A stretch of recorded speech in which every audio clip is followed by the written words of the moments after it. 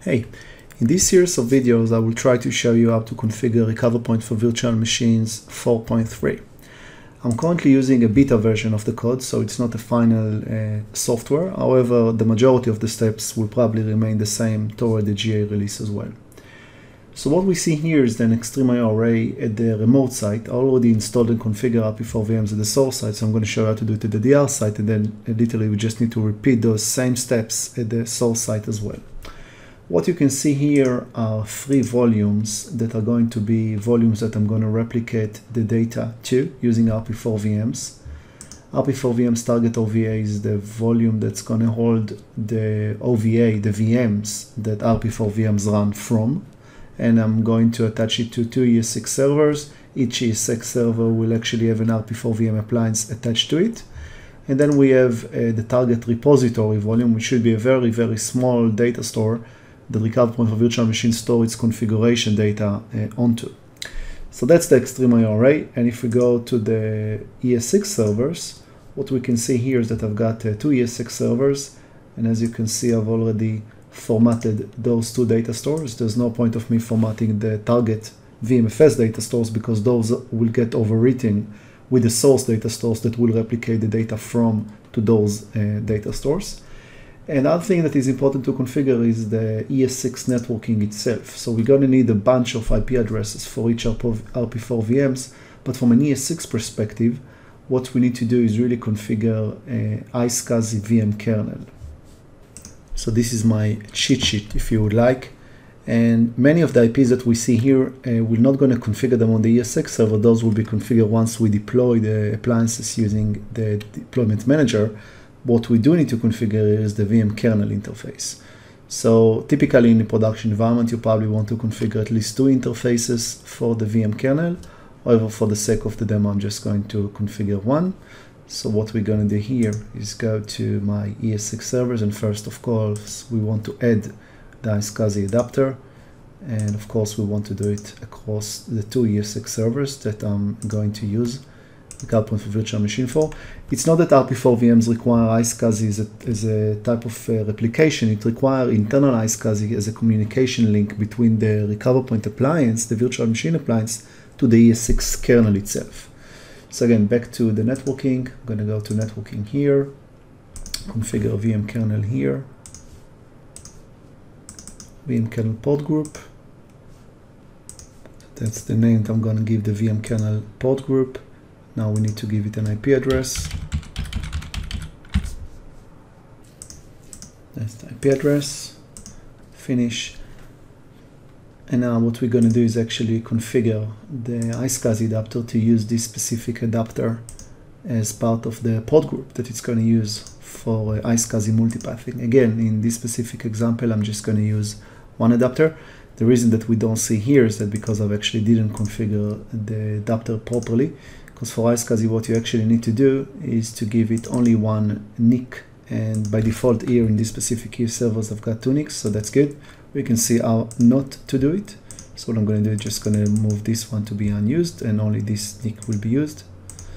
And now if we go back to the storage adapter and we'll configure it, we will see that the option is finally there. There you go.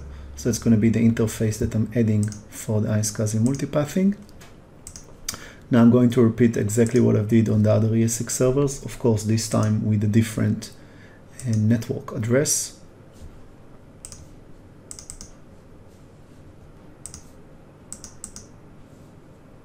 Okay, there you go.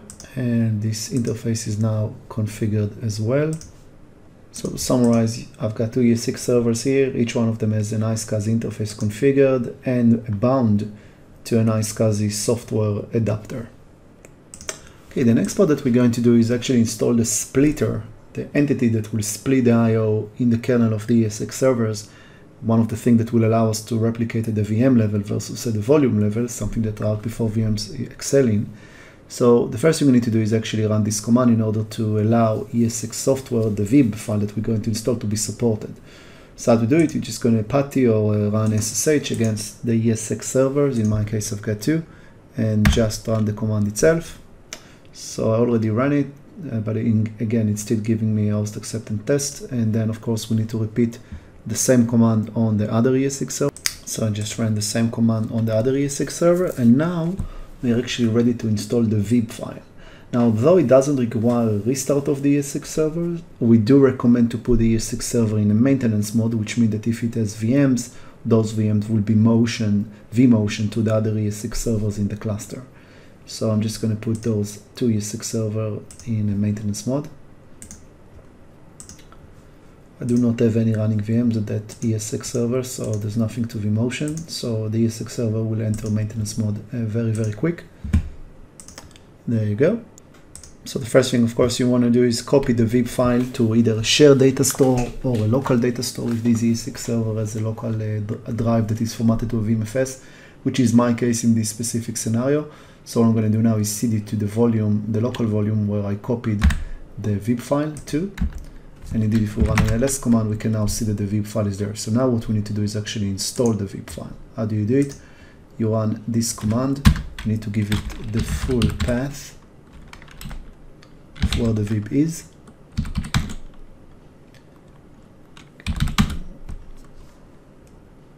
And that's about it. So it didn't do any change because it's already installed and therefore it says skip. But if it's a real installation, it will just tell you that it's now installed and it doesn't require reboot. And of course, you then need to run the exact same command on the other ESX server where you want to run uh, the VIB file on uh, again, no point of doing it now because I already did it and the commands are exactly the same. The only difference that will be in that specific ESX server is that I'm using a local drive, so the local drive on the other one will be probably SCVDI 40. May not be relevant to you if you're using a shared data store, so it's the same uh, volume, which I highly recommend because then you don't need to change the syntax of the command itself. So we've got both the VIB file installed uh, on all the ESX servers, and now we are actually ready to run the Recover Point Deployment Manager. Okay, so before running Deployment Manager, we actually need to deploy the virtual RPAs on those two ESX servers. How do you deploy them? Well, those are OVA file, OVF, so we just use vCenter to deploy them, which is exactly what I'm going to do. The ESX server needs to be out of maintenance mode. I'm just going to point it to the VIP file. All of these files are files that you should have when you use Recover Point. So they will all be packaged in a one bundle. So that's the OVA. Open it.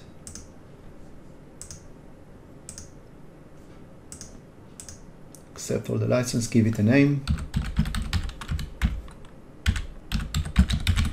I always try to give it a meaningful name to know that this uh, OVA belongs to this specific ESX server. This is part of the configuration itself. It's pretty much self-explanatory. It really depends uh, how many VMs you want to replicate and what's going to be the load of them. And of course, the higher the load, the more VMs that you're going to replicate, the bigger, faster virtual configuration you want to apply for this uh, virtual RPA. And the way to know it is, of course, do the sizing with your SE or reading the user guide. I'm just going to give it the maximum configuration, which is 8 virtual CPUs on 8 gigabyte of RAM. That's not necessarily means that you need to do it as well. And now I'm actually going to deploy this OVM to the data store that I showed you and uh, we formatted before. I'm going to use thin provisioning. There's no point of giving the OVA the full thick capacity. It doesn't actually run the IO inside of it, so it's going to use different data stores to do it. I'm just going to go thin. I'm going to deploy it to these uh, specific networks. And now comes the part where I need to start feeding the IP addresses from the cheat sheet. So we're going to want to give this OVA a fixed IP address. And we can know what is it based on the IP address that I've already prepared. You go back, we can see that this specific ESX server needs the following IP addresses. The temporary management IP is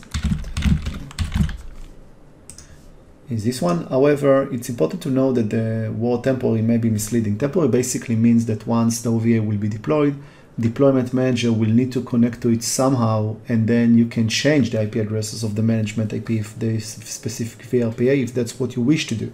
However, in my case, the temporary management IP and the long-term management IP will be absolutely the same. So I'm actually going to use the long-term IP here as well. And the rest of it is pretty much self-explanatory as well. It's now going to start uh, deploy this VRPA and then power it on. And I'm actually going to do the same steps on the other ESX server as well.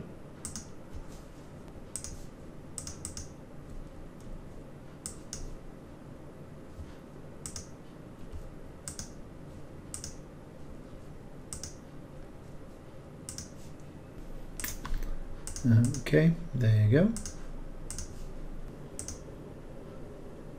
Right, so now that the, those two are basically deployed, it's a good time to try to ping them to see that this management interface is actually replying, which is indeed the case for both of them.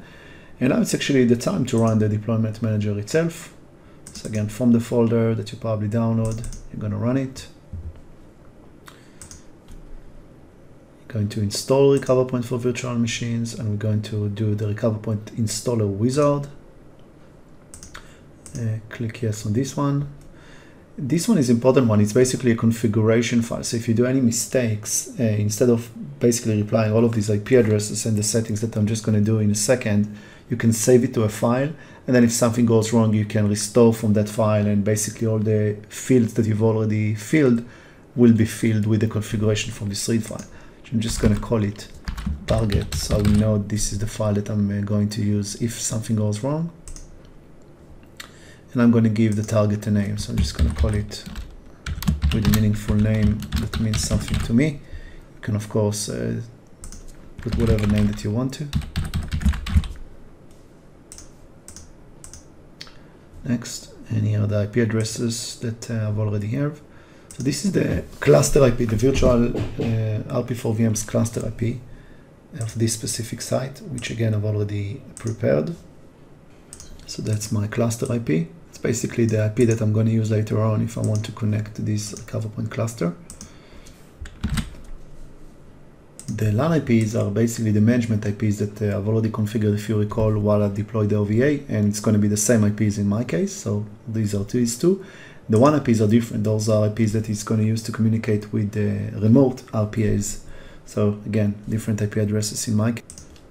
And lastly, I need to configure it, the default gateway IP and click next and this is the password for the recover point appliances okay we first the first, test, first test to connect to these RPAs I'm going to use IP4 for the iSCSI connectivity and now I actually need to configure the iSCSI network address again this is not the VM kernel interfaces I'm just going to configure the netmask followed by the actual IP addresses that I already prepared for each one of these uh, interfaces. So these are the ones that I already prepared. Again, those are the network interfaces of the iSCSI connectivity, not the VM kernel ones, which I've already configured and on the ESX servers. And that's pretty much it in terms of uh, this part of the configuration itself. Press the next button. And here it asks me to connect to the EMC in order to make sure that it's a valid uh, configuration in terms of licensing. However, because uh, we're going to ship up for VMs 4.3 as a trial and buy, you, you will actually be able to skip this part. Again, I'm using a beta version. So in order for me to skip this, I've actually got a special XML file that I'm going to use while I'm deploying it in order to pass this uh, specific compatibility uh, licensing test. That's the file. Press the next button. This part allows me to update the RPAs with the future uh, RPA uh, ISO file which may be actually something that I will do because I'm not running the final uh, GA code. Or for the sake of the test, I'm just gonna leave it as it is. I do not have any other uh, newer version. Just gonna do next on this one, next on the other one.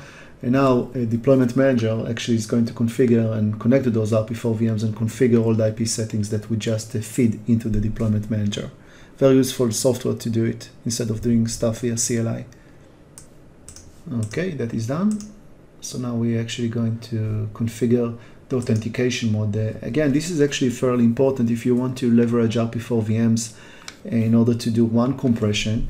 You want to change it in, uh, to accessible mode, which is the secure mode, but it's also allow you to give you the better, the best compression method over the WAN. Again, very useful if you've got sites with a slower link and you still want to push a lot of data between uh, those two sites. So I'm just going to leave it as accessible in this particular scenario.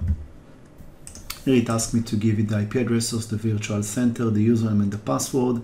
That may vary, of course, based on your site and if you're using SSO or not. In my case, for example, I'm using vCenter on Windows uh, server as opposed to my source site when I'm actually using the appliance. I use the default SSO and that's pretty much it. And of course, configure the recover point admin password as well. And lastly, which is a very important part and will vary between running the vCenter appliance versus the vCenter on a Windows server, is that it's looking for the certificate file itself and the location of it again depends on which appliance you run. This is the location of uh, the certificate file. So in this specific example, I'm going to use the Windows one. So that's the path. However, in my source site, which I don't demonstrate now right now, I'm using the Virtual Center appliance. So this is actually the source. And because it's a vCenter appliance in my source site, uh, by default, SSH will be disabled to the host, so you want to enable it. And it's larger than the scope of this demo, but those things are important to bear in mind. So since I'm using vCenter 6, my RUI CRT is actually this specific path. So I'm just going to point it to this one for the installation itself. And that's it now. Press the next button. It's going to try to connect to the vCenter with all the information that you gave it. Okay, and now it asks me which data stores should be the repository one. So I've already prepared this one, which is the 50 gig one. In real life, it can actually be small up to between 3 to 5 gig. For the sake of the demo, and since we don't really count uh, zeros or thin provisioning capacity on XtremIO, I just created the 50 gig one, press the next button, and it's going to store this information on. It's going to be interesting now to note what's actually going to happen in vCenter you will see a lot of activity going on uh, between the vCenter to these VRPAs. It will attach temporary uh, repository files to them, put them at uh, suspend, resume, and things of that nature. And once that's done, the configuration will be done using Deployment Manager. Okay, so now tell me that it's going to use RP2 to format this repository volume. And since it's already formatted, RP1 will just use it. So that's okay. Just gonna press the next button and that's pretty much it. And that's it. Okay, now what we need to do is to connect those two clusters together. So I've already deployed one uh, that I showed you and another one that I've already prepared without showing you.